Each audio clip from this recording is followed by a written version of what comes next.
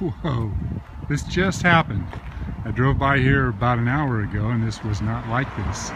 This just fell down. The weather conditions, as you can see, are very nice. It's about 75, maybe 80 degrees. There was absolutely no wind.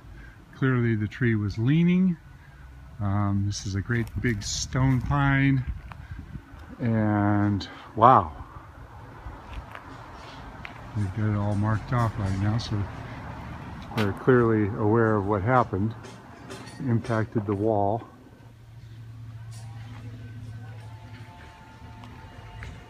It's a good example of the size of the root system on one of these big trees.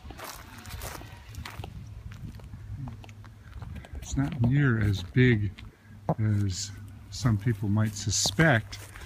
Of course, there's a lot of smaller absorbing roots but when I look down inside here, I can see some white strands down in here and some of these main roots indicating a little bit of um, looks like a little bit of white rot fungus but I would not suspect that that is enough to have caused this problem.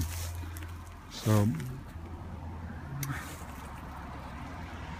it just got too heavy and went down. It can happen which makes my job extremely dangerous. You never know what's going to happen when you get up in a big tree.